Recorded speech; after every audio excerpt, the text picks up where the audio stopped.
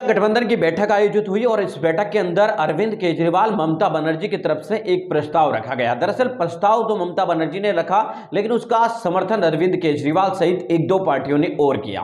प्रस्ताव यह था कि इंडिया गठबंधन की तरफ़ से दलित प्रधानमंत्री का चेहरा बनाया जाना चाहिए। और दलित के तौर पर मल्लिकार्जुन खड़गे का नाम उन्होंने रखा। उन्होंने कहा कि मल्लिकार्जुन खड़गे को प्रधानमंत्री बनाया जाना चाहिए। इस बात का समर्थन उन्होंने प्रस्ताव रखा ममता बनर्जी की तरफ़ से। लेकिन इस प्रस्ताव को केवल अरविंद केजरीवाल और एक दो छोटे दलों की तरफ़ से सहयोग मिला।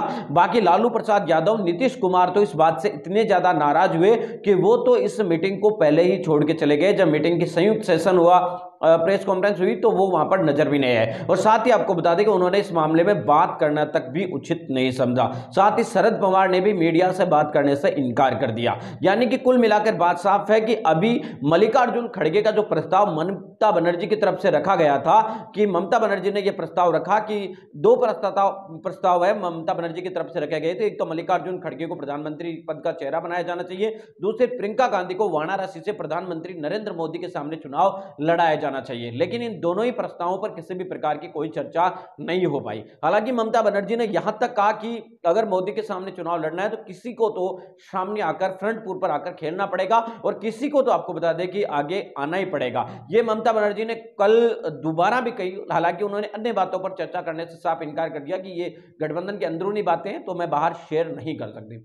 दरअसल इस बात के दो मतलब निकाले जा रहे हैं कि ममता बनर्जी राहुल गांधी को नेता नहीं मानना चाहती। अरविंद केजरीवाल भी राहुल गांधी को नेता नहीं मानना चाहते। यह वजह है कि उन्हें वो मनिका अर्जुन खड़गे, जो कि एक सीनियर नेता है, उनको आगे करके राहुल गांधी को बैकफुट पर धकेलना चाहते हैं। दूसरी तरफ़ अगर राहुल गांधी की जगह मल्लिकार्जुन खड़गे नेता होंगे तो राहुल गांधी और कांग्रेस की थोड़ी सी कम चलेगी और आपको बता दें कि वहाँ पर राहुल गांधी को थोड़ा सा टोका टोकी की जा सकती है। जबकि कांग्रेस पार्टी ये चाहती है कि किसी भी तरीके से हो, चाहे प्रधानमंत्री का चेहरा कोई भी हो, लेकिन फ्रंट फुट पर राहुल गांधी खेलने चाहिए। इस गठबंधन का नेता राहुल गांधी होना चाहिए। लेकिन हाल फ़िलहाल की स्थिति देखें तो ये साफ़ नज़र आ रहा है कि राहुल गांधी के नाम पर कोई दल तैयार होगा या नहीं, ये तो अलग बात है, लेकिन मल्लिकार्जुन खड़गे के नाम पर नीतीश कुमार, लालू प्रसाद यादव और समाजवादी पार्टी तक कई सारे ऐसे बड़े दल है, जिन्होंने एक तरीके से आपको बता दें कि इसका विरोध किया है और वो यहाँ पर नाराज़ नज़र आए, क्योंकि नीतीश कुमार खुद प्रधानमंत्री बनने की दौड़ में लगे हुए हैं। दूसरी तरफ़ लालू प्रसाद यादव भी चाहते हैं कि उनकी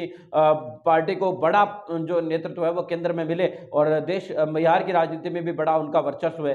इसी तरीके से उत्तर प्रदेश में भी अखिलेश यादव भी चाहते हैं। तो कुल मिलाकर बात साफ़ है कि अभी हाल फ़िलहाल में देखें तो विपक्ष खुद आपस के अंदर बटा हुआ नज़र आ रहा है। प्रधानमंत्री के सामने किस तरीके से लड़ेगा, प्रधानमंत्री का चेहरा कौन होगा, या फिर बिना चेहरा या गठबंधन जाएगा यह आगे आने वाले दिनों के अंदर स्पष्ट हो जाएगा। लेकिन यह साफ़ नज़र आ रहा है कि प्रधानमंत्री के पद को लेकर अभी भी इंडिया गठबंधन में कई सारे पेज फंसे हुए हैं। मिलेंगे स्टडियो अपडेटों के साथ। आपसे लेते हुए लाइक कीजिए, कमेंट कीजिए